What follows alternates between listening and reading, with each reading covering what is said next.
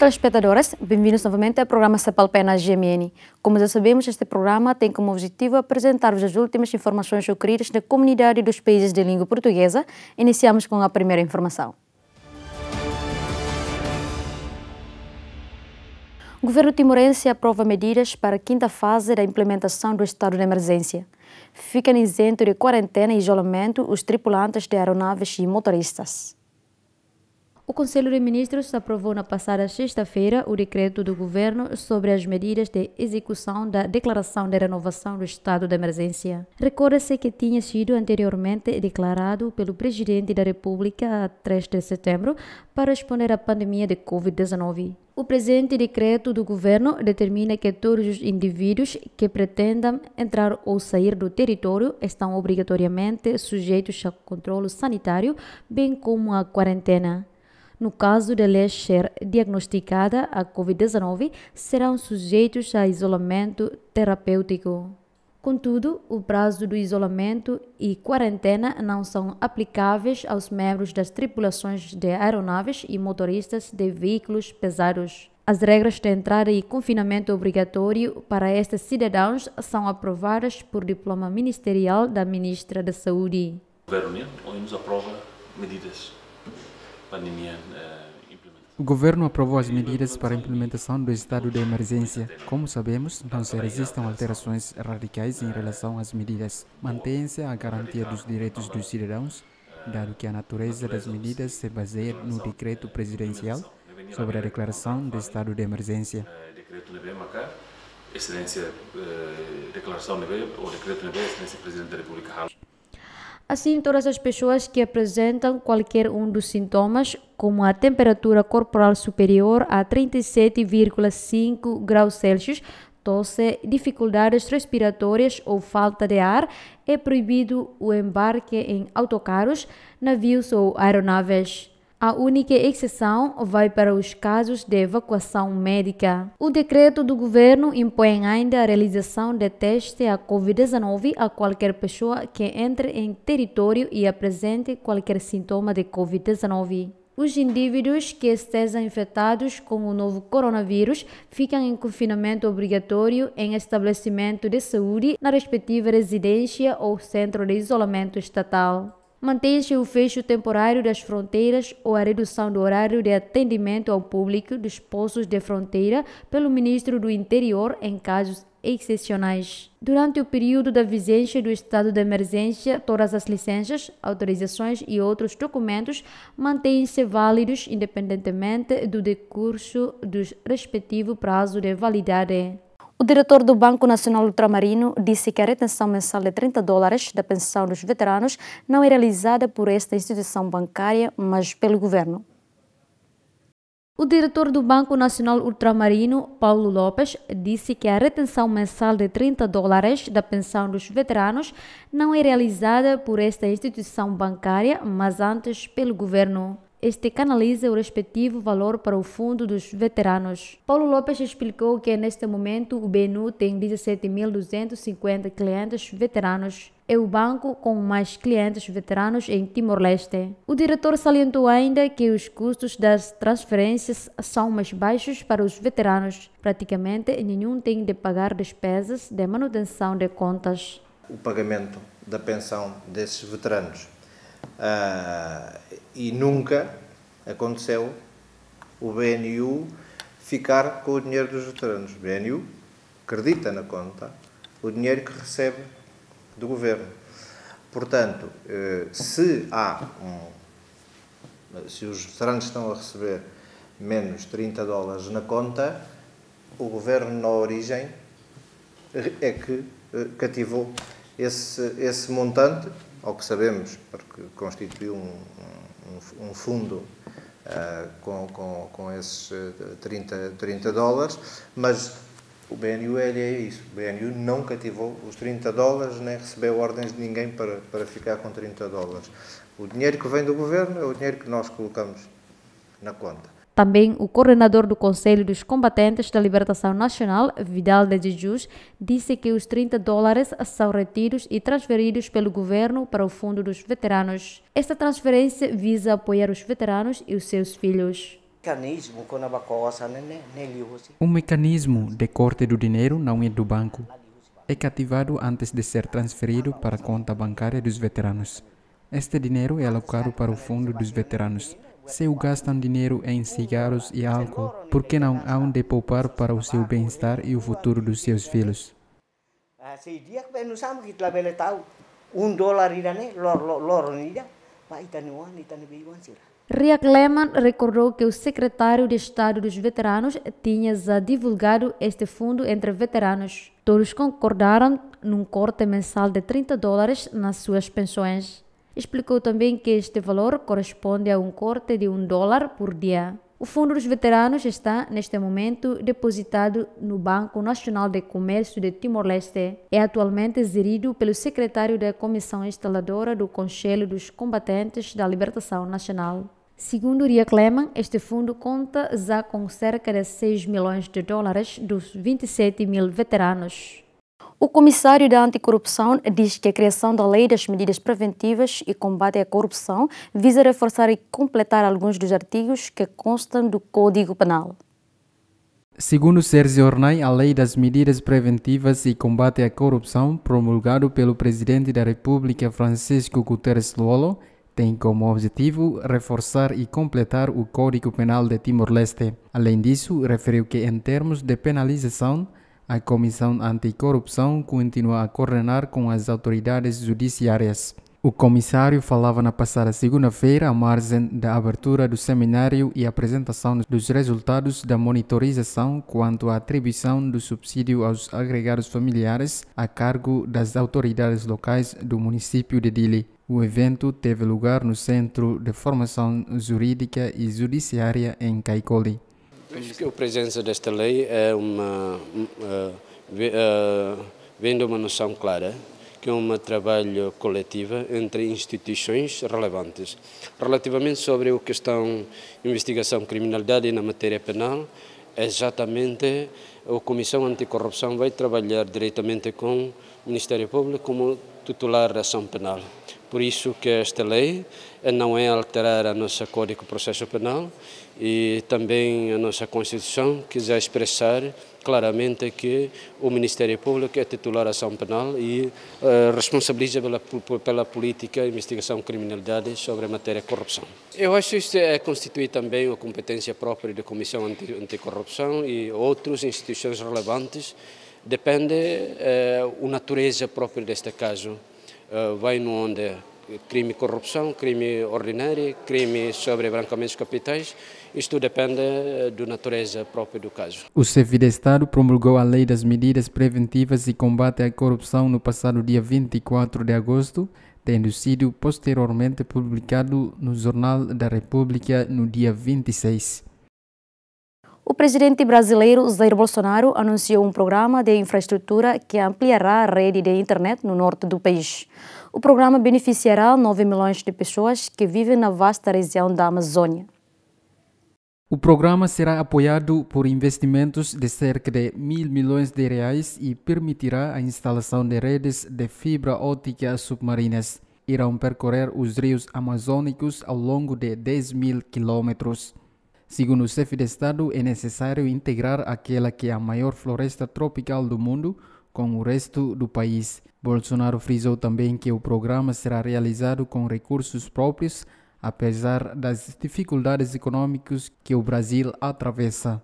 Mais ao sul, mais ao centro, por vezes, não damos a devida importância daquilo que, para nós, é quase nada, para outros é muito. É dessa forma, pesada da mais, que nós vamos integrando realmente a Amazônia com recursos próprios. E, se um dia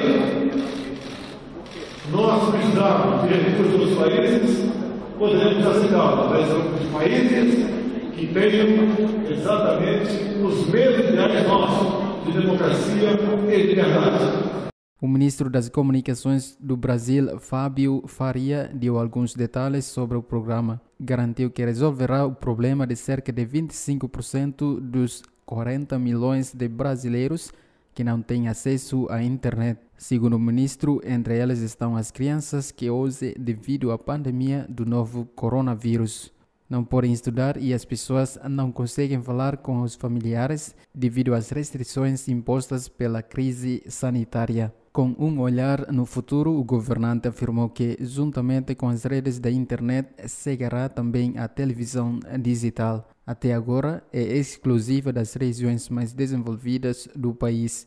O presidente do Supremo Tribunal Federal participou também no evento de apresentação do programa, tendo destacado que a iniciativa irá facilitar o acesso à justiça. A Comissão Instaladora do PRAZA de Angola poderá apresentar uma queixa-crime contra pessoa não conhecida, suspeita de adulteração de documentos e dados que apresentaram ao gabinete dos partidos políticos do Tribunal Constitucional. Terminamos a nossa reunião da Comissão Instaladora e do Task Force, que se alargou com a participação dos representantes da Comissão Instaladora em todas as províncias do país por videoconferência e também alguns dos nossos representantes no exterior. E todos juntos e unidos decidimos continuar a lutar pela legalização do Prajá. Não há razões para o Tribunal Constitucional, por via das orientações do MPLA, continuar a inviabilizar. A equipa dos advogados vai tomar medidas para interpor novo recurso simultaneamente vai estudar a possibilidade de intentar uma ação de queixa-crime contra pessoa não identificada e que estão a desviar a documentação do Prajá Servir Angola. Também decidimos desenvolver pressão máxima política e diplomática no sentido a esclarecer o mundo das razões do Prajá, esclarecer o mundo das violações à lei pelo MPLA através do Tribunal Constitucional e assim trabalharmos no sentido de fazermos com que não haja retrocesso do processo democrático e o nosso país volte à normalidade. A empresa angolana de construção civil, o Matapalo, quer envolver-se no projeto do setor mineiro. Segundo o presidente do Conselho de Administração, existem já conversações em curso. O presidente do Conselho de Administração da empresa de construção Omata Paulo nega que presida uma firma do regime angolano ou que beneficie de adjudicações diretas. Em entrevista à Lusa, Carlos Alves considera a empresa uma mera parceira do Estado e não se revê nas acusações. Nós vivemos num mundo que hoje as pessoas podem dizer e, e uh, usar as redes sociais muitas vezes indevidamente, portanto, mas são, são, são contingências da vida. Não, não, não, não, não tenho, não, não reconheço isso. A empresa de Carlos Alves vai a breve prazo envolver-se num projeto do setor mineiro. Estão já em curso conversações com vista à exploração de diamantes. Fomos desafiados para entrar em vários projetos mineiros, não só no setor dos diamantes, que é um setor em que o país tem um enorme potencial, mas noutros setores eh, da área mineira. A vontade existe já há muitos anos. É, Há, há conversações, sim, há, como é natural, porque temos várias, em Angola temos muitas minas, e, e pode acontecer a qualquer momento desde que se, se feche, que seja uma, para, para nós uma mais-valia, e para, também para o Estado e para os parceiros que possam integrar o projeto. Mas poderá ser uma realidade a breve prazo? Acredito que sim, acredito que sim. A Omata Paulo detém também o projeto da Fazenda Mumba, dedicada essencialmente à agricultura e produção de carne, que deverá estar em pleno funcionamento em 2030. O investimento de milhões de dólares prevê a criação de milhares de postos de trabalho. Angola, eh, essencialmente, deve apostar fortemente no setor primário. Nós não podemos estar dependentes só do setor petrolífero e do setor mineiro, que felizmente tem vindo a sofrer um grande investimento e a melhoria das suas produções mas acho, na nossa opinião, que o setor primário, a agricultura e a agroindústria, agricultura e pesca, evidentemente, e a agroindústria, seriam fundamentais para, o, para a autossuficiência do país. Só na parte do projeto uh, do gado uh, e, e dos, dos, cereais, eu diria que no mínimo vamos estar próximo dos mil postos de trabalho. Para o setor hortifrutícola, uh, frutícola principalmente, falamos de cerca de 700 postos de trabalho diretos, todos diretos, porque depois vai ter muita, muito trabalho também sazonal. Não se justifica que um país com a dimensão e capacidades que Angola tem, que continua a importar bens de primeira necessidade, de produtos alimentares. Apesar de estar também no ramo do petróleo, com participação na refinaria de Cabinda, o administrador da Omata Paulo reitera que a empresa não é beneficiada pelo Estado angolano e rejeita críticas. Não concordo, como é evidente. Portanto, nós, eh, como outras empresas, tanto nacionais como internacionais, que têm capacidade, eh, estão sempre disponíveis e sujeitas a terem contratações simplificadas. Eh, o processo de contratação simplificado não, são, não significa que seja uma adjudicação direta, porque são feitas consultas e concursos.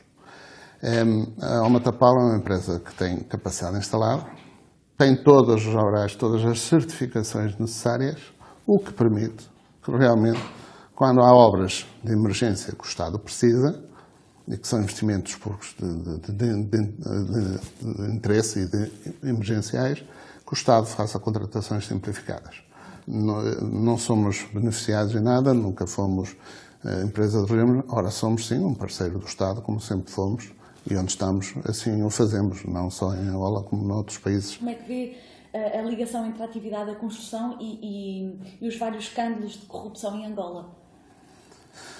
Oh, isso são matérias que não, eu não estaria muito preparado para, para falar, portanto é, são, são assuntos que são da, da Procuradoria-Geral da República, é, que, é, que tem essas missões e que saberá melhor quais são as, as relações, mas não, não, não sou conhecedor suficiente para poder julgar esse caso.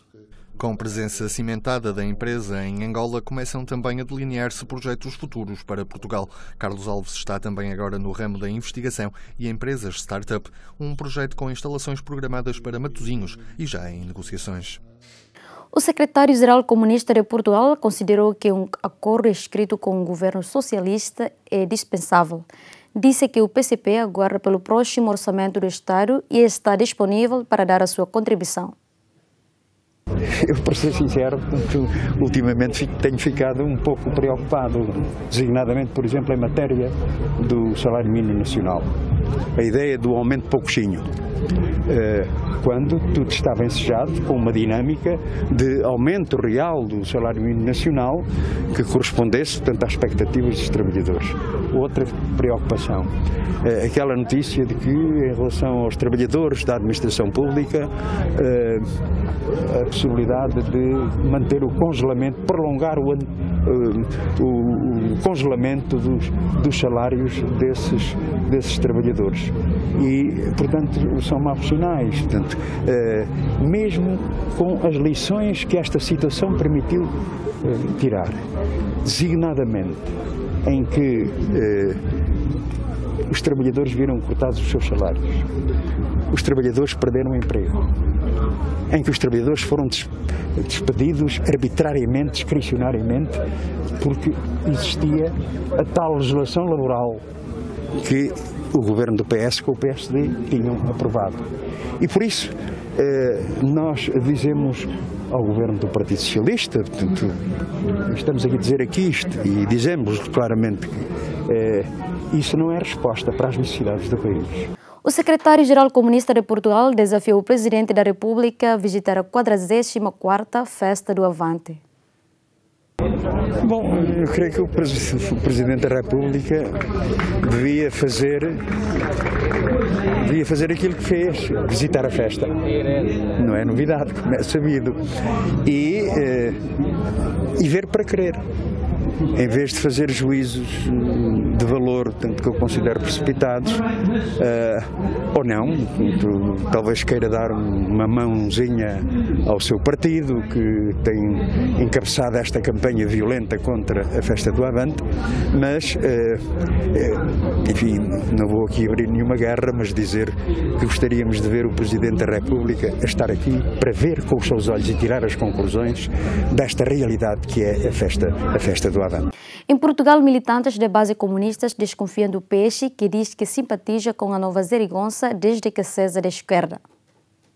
Aquilo que eu tenho plena confiança é que o partido estará sempre na vanguarda daquilo que são os direitos dos trabalhadores e, e portanto, todos os acordos que venham por bem um, de da, da, manutenção e da conquista de direitos dos trabalhadores, o PCP estará sempre disponível. A geringonça pode funcionar eh, sem acordo, pode funcionar nos moldes que tem tido funcionado até agora. Um apoio à esquerda, não uma coligação, digamos assim.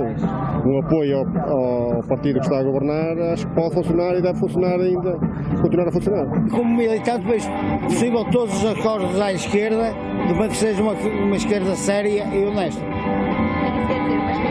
Quer dizer que à esquerda, a esquerda de facto verdadeira. E neste caso o PCP é da esquerda verdadeira.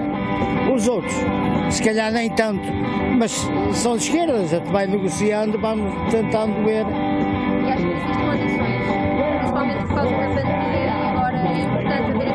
Sempre existiram condições e continuam a existir, desde que os outros partidos queiram, de facto, fazer uma política séria e honesta. Eu acho que se a oportunidade de blindar em direitos a sociedade portuguesa é positivo, eh, e sobre todo, eh, não sei como é a situação com a direita portuguesa, sobre todo a ultradireita, que eu acho que é residual, mas não sei muito, pero sobre todo em uns tempos que correm com, como Covid, com, com a ultradireita, com as, as recortes, recortes de direitos, eu acho que é muito importante que a esquerda, e sobretudo aos comunistas, eh, aí para solucionar os, os problemas da, da, da, da, população. Estamos de acordo com o aumento do salário mínimo nacional para os 850 euros, estamos de acordo com o aumento dos profissionais de saúde, estamos de acordo com o aumento dos profissionais de educação, estamos de acordo com o aumento de uma série de, de, de matérias sociais, digamos assim, que são preponderantes para que também esta situação pandémica uh, seja mais atenuada, porque efetivamente nós não podemos uh, dizer que, que a mesma não existe, e saber se estes milhões que dizem que para aí vêm, para onde é que vêm, para onde é que serão canalizados, chegam efetivamente àquilo que é a economia real, é que é as micro e pequenas empresas, que, que são, como sabe, o grande empregador nacional e não as grandes empresas, e muitas vezes são essas grandes empresas que ficam com o partilhão destes fundos europeus e outros. Em Portugal, mais de 60 automobilistas protestaram contra a realização da festa do Avante no Conselho do Seixal. Esta crítica é uma crítica construtiva em que nós pensamos e estamos de acordo em que as pessoas possam ter efetivamente o seu espaço. Mas não pode haver um espaço com dois, com dois pesos e duas medidas. Não pode. E aqui vê-se um peso e duas medidas. Se eu fosse responsável político, se eu fosse responsável político, teria que ter a coragem de dizer aos meus militantes que esta festa, em nome do país, não se realizava. Este ano, este ano. Por consequência, esta crítica que eu estou a fazer é em nome das pessoas. Não é dizer que o fulano tal podia muito bem proibir a festa. Podia. Mas não podia, porque a Constituição da República não permite isso. Mas pelo menos em consciência, e aqui é que é o importante, que é em consciência, que as pessoas deviam efetivamente pensar duas vezes. Não somos nós os responsáveis daquilo que possa vir a acontecer, mas não nos acusem que foi na moda que aconteceu o problema. O país está a mexer. E, e é impossível, como é que, por vezes, outras situações que podiam vir cá fora, a comunicação social tem esse papel importante de dar a conhecer. E é o que ela está a fazer neste momento. Está a dar a conhecer do nosso movimento. São quatro pessoas. Não é assim tantas como isso. Não é nenhum partido que nós estamos ligados a nenhum partido. Ao contrário que, que a outra comunicação queira passar, nós não estamos filiados em partido nenhum. Ponto. Somos pessoas livres, de raciocínio livre e estamos aqui firmes para defender a Amora com unhas e dentes. Eu só digo-vos uma coisa, meus caros amigos, vão à Amora, batem em campanhas de indiferente em 10 pessoas e vejam qual é a resposta que as pessoas dão. Não é utopia, é realidade. Não somos inimigos ninguém, somos pessoas conscientes e responsáveis. Eu compreendo o objetivo. Eu compreendo, não, fosse, não compreendesse o objetivo pelo qual o está-me aqui a dizer. Não sei o dia da manhã. É a melhor resposta que eu vou dizer. Não sei o dia da manhã, só sei que dois a, dois a um ano há eleições. Dois a um ano há eleições. Mas, perdão? Poderá candidatar-se a alguma coisa nessas eleições? A ser livre. Mais livre. Não, não vislumbro mais nada. Em Portugal, do deputado ao eletricista, todos os braços comunistas ajudaram nos últimos detalhes para erguer mais uma festa do Avante. Este ano tem uma lotação reduzida a um máximo de cerca de 17 mil pessoas pelas autoridades sanitárias devido à pandemia.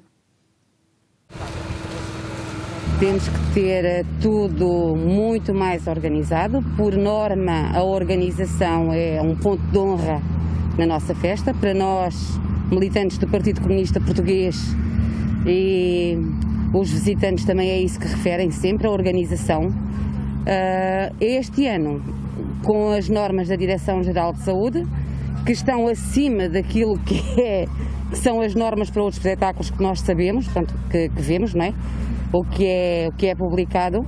E como comunistas organizados que somos, iremos respeitar as normas e cá estamos a cumprir mais uma tarefa para que seja realizada a nossa festa. Vou-me divertir com conta, peso e medida, com as devidas cautelas, porque o partido está a assegurar, aliás, como vocês podem ver por todas as, as sinaléticas à volta e por todos os meios, Uh, vou-me divertir e vou cumprir tarefas também, e estar a trabalhar, a fazer turnos nas portas, a receber os visitantes. Vai haver várias diferenças também na própria organização da festa, nos corredores de circulação.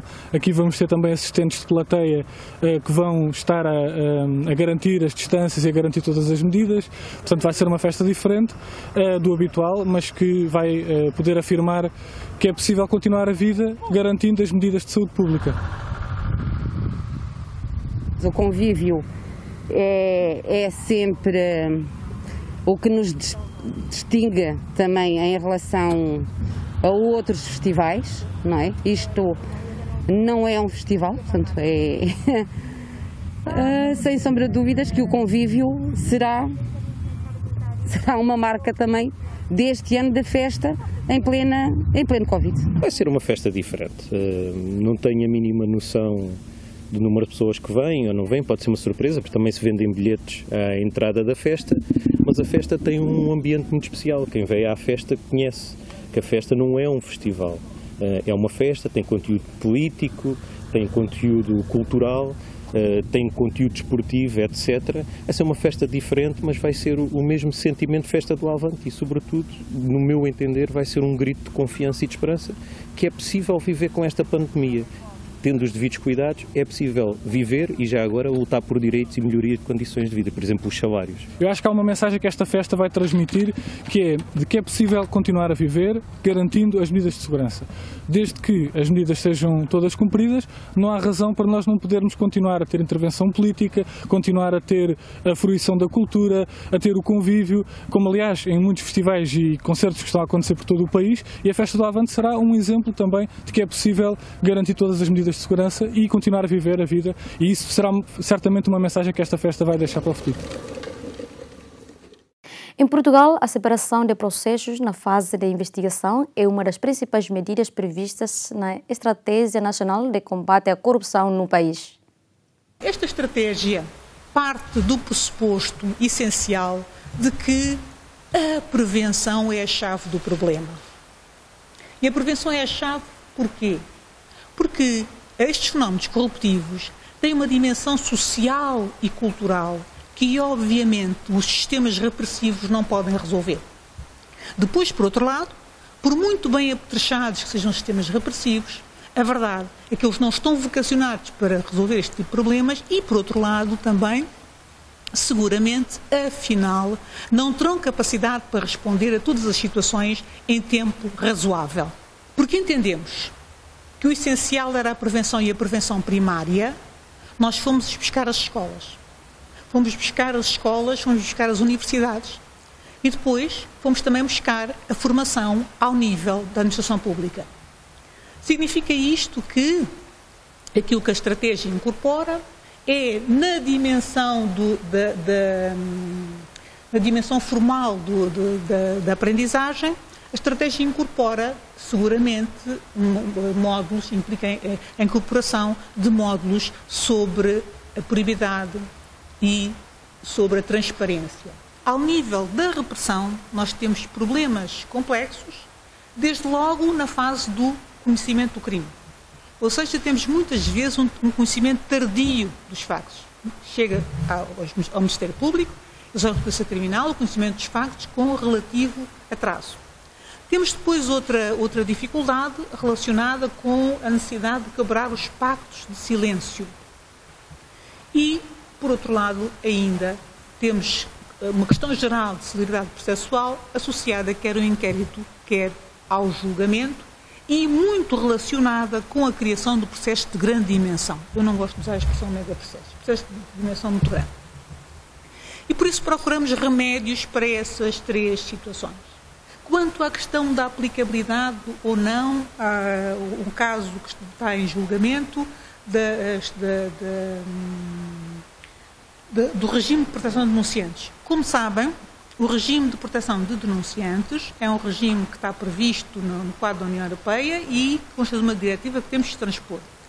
Esse regime prevê que, que, que, que, ao nível da proteção dos denunciantes, tem como pressuposto que o denunciante esteja integrado numa organização e que tenha conhecimento de factos em virtude da sua atividade nessa organização e, em resultado disso, através dos canais de denúncia adequados, faz a denúncia. Eu penso que não será propriamente essa situação que se verifica no, no caso, que está, no caso que me está aqui a referir. O presidente executivo do novo Banco de Portugal afirmou que o banco demoraria 20 anos a vender imóveis se vendesse um a um. Porque se fôssemos vender ativo a ativo, muito sinceramente, meus senhores, demoraríamos, demoraríamos a vender um nível de 5 ativos por dia, mais de 20 anos a vender todos estes ativos, quando tínhamos dois para o fazer. Não havia qualquer solução. O presidente executivo do novo Banco de Portugal disse que 95% das perdas referidas na auditoria da Deloitte devem ser ativos anteriores a 2014. Isto significa que pertenciam ao BES e passaram para o novo banco na resolução. Gostaria que percebessem, e todos, e todos lá em casa também, que este ciclo de silêncio se deve a razões pura e simplesmente éticas. Razões de ética empresarial, que significa que o silêncio dos gestores deve ser total quando estão a ser auditados e, sobretudo, quando essa auditoria nasce de uma exigência legal aprovada na Assembleia da República. Essa auditoria foi entregue, já foi entregue à Assembleia da República, ao que sabemos, e entregue quer ao Banco, quer ao Sr. Ministro das Finanças e ao Fundo de Resolução. Terminou o ciclo do silêncio iniciou-se o ciclo do esclarecimento. Queria vos dizer que das perdas, mais de 95% são por ativos originados previamente a 2014. Não estamos a falar das perdas referentes antes de 2014, porque aí o valor seria superior. São perdas originadas por ativos antes de 2014. Não há um único novo crédito que tenha sido concedido posteriormente, um único novo nome que tenha concedido, sido concedido posteriormente à resolução. Em Portugal, o mosaico romano, com quase dois mil anos, dedicado ao deus Oceano, exposto no Museu Municipal de Faro, é um dos mais bem preservados a sul do país. Um mosaico romano com quase dois mil anos e dedicado ao deus Oceano está exposto no Museu Municipal de Faro, primeiro museu do Algarve e que abriu ao público em 1897. Este mosaico é um dos mais bem preservados a sul do país, razão que levou à sua classificação como Tesouro Nacional em 2018. Encontrado em obras particulares numa moradia junto à Estação dos Caminhos de Ferro de Faro, poderá ter sido o pavimento de um edifício público, sugerindo que Ossónuba, nome que os romanos davam à cidade, tinha uma área comercial além do centro, atual cidade velha. É uma peça que nos transmite muito daquilo que é a herança do período romano aqui em Faro, da antiga cidade de Ossónuba, hum, que nos que nos transmite muito daquilo que são as vivências culturais, sociais e económicas.